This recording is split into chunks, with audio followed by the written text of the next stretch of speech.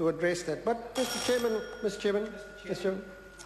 Uh, the Honourable David Parker. Mr Chairman, uh, as prior speakers have said, the uh, Labour opposition supports the Child and Family Protection Bill, which of course uh, on occasions protects uh, children who are being physically abused by their parents.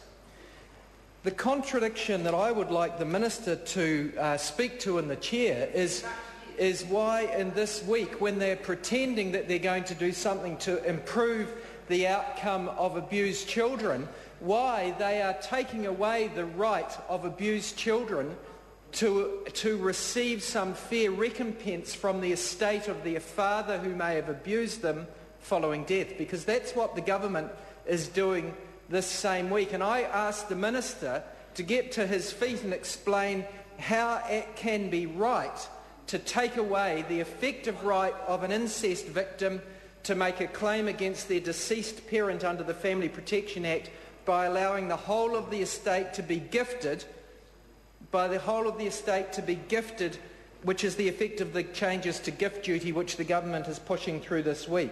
It seems to me to stand in stark contrast to this bill, which the Labour opposition supports, which uh, does give protection to children, including children who are abused by their parents. Mr. Speak, uh, Mr. Chairman, uh, this uh, bill does make some wise amendments to the Care of Children Act, and it sets out uh, procedures for dealing with applications for day-to-day care of or contact with children where there is an allegation that one of the parties has used violence against the child or, and that can be sexual violence, could be alleged um, uh, sexual molestation of a child. Now, that's, uh, that is a laudable thing to do, but we know that in a society that sometimes happens. It's terrible when it does happen, it's terribly sad that on sometimes when it happens, the parents who are, become estranged from their children and blame the child. And I'm sure anyone who's practiced in this area of law, Charles Chauvel will know this, I know this, the former um, uh, race relations conciliator who, who was involved in the Families Commission will know this. On occasions, the family, and just though it is, they blame the child. They become estranged from the child and the child uh, who has been the defenceless victim of incest uh, is left estranged from the family and are on occasions cut out of the will. Under New Zealand law, the Family Protection Act until now allows that child to make a claim against the estate, alleging that the, the, the, the testator has, the person that's died, has breached their moral duty to that child by cutting them out of the will. That law has been on New Zealand's books since 1950, the Family Protection Act.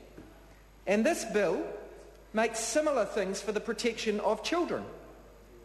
And yet the government this same week Order. is taking away, well, Mr, Mr Chairman, I'm asking the Minister to explain why we should be in this bill extending the protection of children and how he reconciles that with taking away those children's rights under the Family Protection Act because those assets can be gifted out of the estate in the week before someone dies or years. Order. Um, when we're in committee stage, we're in the committee stages of what's reported back in the bill, and I've cautioned the member twice to come back to that and I'll ask the member to continue in that vein.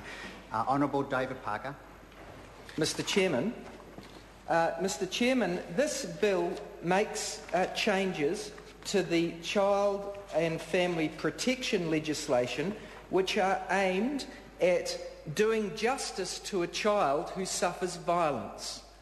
I am asking the Minister how he can pretend that he is uh, advancing the interests of children when just yesterday he, in this House, in fact the vote might have gone through today, did it? Order. I'm not sure.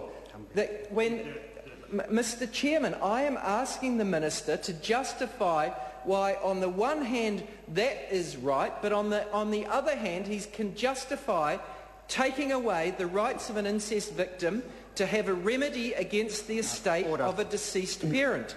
Order. Just hold it. I've just um, said that the Minister has no responsibility for a bill that's not currently before us. And um, I've asked the member, this is my third occasion, to concentrate on the report back from the, from the Select Committee and what are the clauses in this bill, the parts, that's what we're debating. The member has 13 seconds. Do you want to take a point of order? No call? So, Well, I, well, I will, Mr Speaker, because I think that the Minister should get to his feet and explain the inconsistencies in respect of this government's attitude to child protection laws. Mr Chairman. Uh, I'll call Charles Chauvel. Thank you, Mr